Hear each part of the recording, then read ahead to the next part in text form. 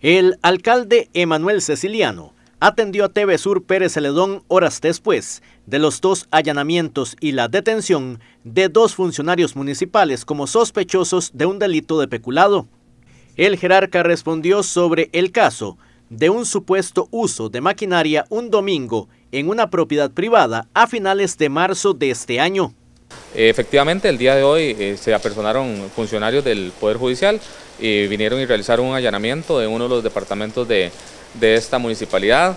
Eh, ellos vinieron y solicitaron una serie de documentos, se les brindó todos los documentos en aras de la, de la transparencia. pues es una investigación que están realizando y como, como como fiscalía y pues es, parte de, los trabajos que ellos realizan. En el caso de nosotros como municipalidad, pues nosotros actuamos de acuerdo a derecho y estamos trabajando de esa manera. Habría que ver ahora eh, pues cuál es el procedimiento o qué es lo que ellos van a realizar en su momento, este, pues para ver el objetivo de la, investigación que están realizando. Eh, don Emanuel, según lo que dice hoy J, se habla de la utilización de maquinaria y en un camino privado. ¿Qué saben ustedes de eso?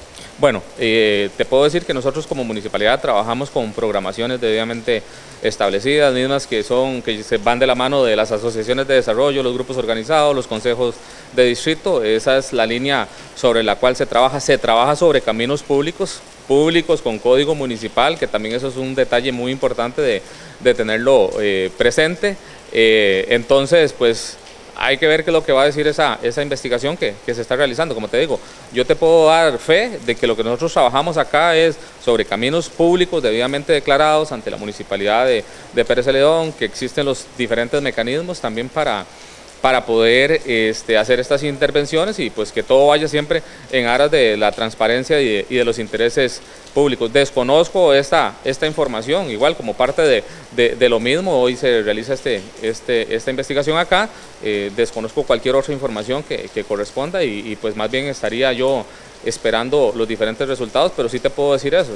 Tenemos los caminos debidamente establecidos, los más de 2.000 kilómetros de caminos que, tenemos nosotros en el cantón de Pérez de León, que todos han llevado un procedimiento sobre esta línea de la declaración de los caminos y sobre eso es que se van programando los mismos y a su vez se va haciendo la intervención ante, ante, ante las programaciones establecidas y las necesidades que vayan presentando estos grupos organizados. En el informe preliminar habla de marzo, eso era domingo y era Semana Santa. ¿La maquinaria trabaja domingo, Emanuel? Bueno, la maquinaria no está trabajando eh, domingos y también esos son temas que están debidamente establecidos a nivel de Ministerio de Trabajo y, demás.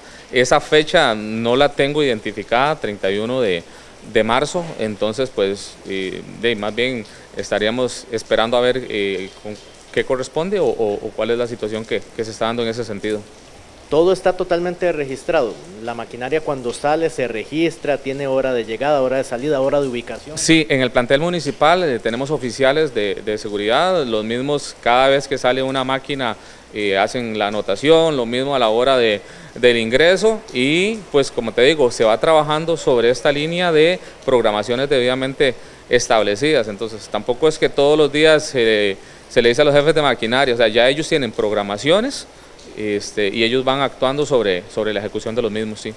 Manuel, ¿qué sensación le deja dos personas detenidas por este caso?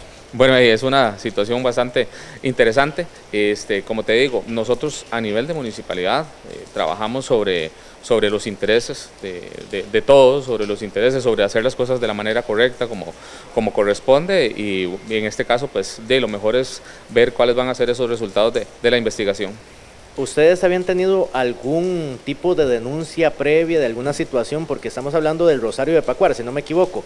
Eh, ¿Habían tenido algún tipo de denuncia sobre esa zona del uso de maquinaria fuera de una fecha? No, no, no, no, la verdad no. Eh, acá constantemente pues llegan solicitudes de información, este, dónde se están realizando los diferentes trabajos y así sucesivamente. Vecinos vienen y ponen alguna denuncia, eh, que las aguas están metiéndose en su propiedad o o que el camino no, quedó bien, que se le echó material y que el material no cumple con las condiciones adecuadas, pero eso es como parte del acontecer cotidiano que, se realiza acá. Entonces, en cuanto a este tema eh, y a lo que he ido conociendo eh, a lo largo de la mañana, no había ninguna denuncia.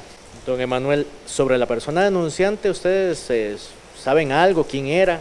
Mira, sinceramente no, no, no, no, conozco la persona, el tema de la denuncia pues lo conocí hasta el día de hoy con la investigación que se está realizando, entonces pues eh, insisto, en este caso pues eh, nosotros colaboramos con toda la información que nos solicitaron, siempre en busca de, de, tener la claridad de, las cosas y pues ver los resultados finales. Una última, ¿lo interno se abre alguna investigación sobre este caso?